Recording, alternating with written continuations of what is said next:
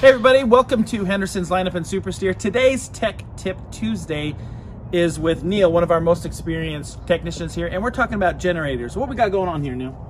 We are cleaning the carburetor because carburetor set for a few months. And what happens uh, if you don't run them for at least 20 minutes a month, they get clogged up, basically shellacked, okay. and it creates problems. It's easier to run it once a month, 20 minutes with a load on it. Yep. So running it 20 minutes a month is really not that big of a deal, but if you let it sit for a couple of months, you're looking at a couple hundred bucks just to repair it, right? Correct. So sometimes you have to buy a carburetor. Yeah, we don't you don't want to do that. So today's tech tip is run that 20 minutes once a month and avoid a you know two or three hundred dollar maintenance bill by letting it sit too long, right? Correct. Okay.